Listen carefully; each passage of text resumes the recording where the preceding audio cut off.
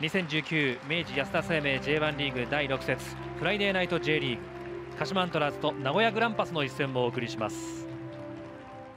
小笠原光雄さんに対しましてアントラーズ厚労省授賞式試合開始前にセレモニーとして行われます。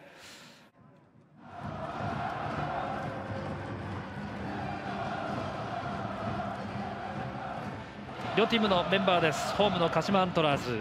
今日は最終ラインの右予想では安西、平戸両ワイド。平戸が右のサイドバック。J1 デビューゲーム。え中盤はレアンドロ、長木、レオシューバ、土井。そして伊藤翔、セルジーニョのコンビです。伊藤翔は今シーズンここまで4得点を挙げています。アウェー名古屋グランパスです。快勝した札幌戦と同じメンバーです。ゴールキーパーランゲラック。最終ラインは宮原右吉田豊左センターには中谷丸山。和泉も攻めます。シャビエルもチャンスメイクできます。そしてジョー長谷川アーリア・ジャスールのコンビになります。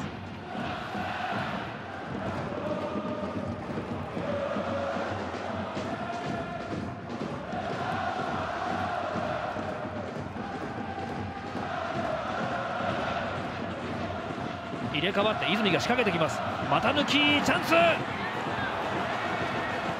2人かわしていきなりのビッグチャンスでした泉隆二。積極的でしたね、えー、まあ、対峙したのが平戸だったのでまずは自分の特徴という部分では出そうというふうに多分最初から決めてたと思いますね。いい突破ですよね、えー、土井翔馬。中でセルジーニョファーサイドには伊藤が待つ。クロス先に触りたかったところですセルジーニョ。や今のはタイミング良かったですね。はい素晴らしいタイミングでしたね。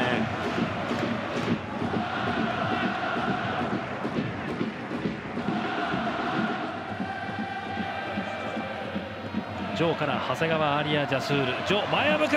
左足ポスト一瞬のタイミング。ワンツーから決定機でした名古屋。フリーになったジョー左足、まあ、振り抜けるだけの時間がありましたし、えー、ただ中で待つというだけではなくてやはりボールに絡みながら、まあ、崩しにも参加をしようという折り返しガブリエル・シャビ。あーっと！先制名古屋。正面でしたが止められませんでしたコンスンテ近い距離でのシュートでしたが反応できませんでしたね。そうでしたね。左サイドでちょっと詰まってサイドを変えたところからですけども、まあ、ワンタッチのクロスが入ってでシャベルも右足だったので、鹿、島、の選手たちとしてはちょっとまだっていう思いがあったかもしれないですけどね。ボールをセットしたのはガブリエル・シャビエル。シャビエルですコースを狙ってきたクロスバーガブリエル・シャビエル。ちょっと落ちきりなかったですかね、えー、長き。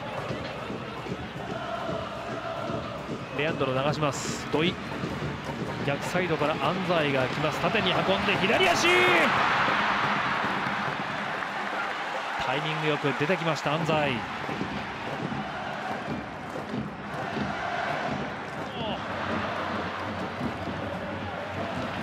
り返します。いいですね町田。阿部が仕掛けます。中に入っていく。横パス。長きコントロール。抜けシュートだ!うまく合わせて1対1土井翔馬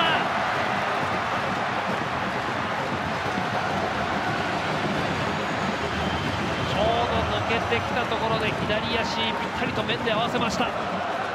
まあよく阿部が見てたということもありますしとこ見てましたね、まあ、みんなが見てたところが良かったというところですかね。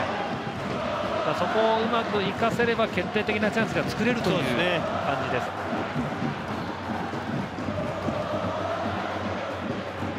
レオシルバが行きます。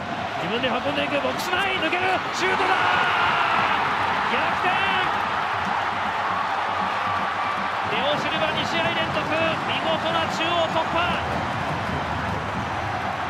ドサイド言っててマど真ん中行きました。しかも1人で。何何かこうフェイントという形ではないんですけども、えーコースの取り方とか、まあ、緩急とかあとステップとかね、かいので飛び込めないですよねきっと。はい。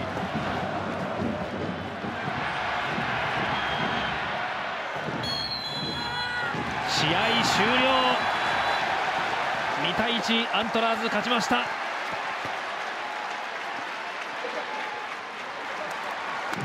先行される苦しいゲームでしたけれども見事な逆転勝利。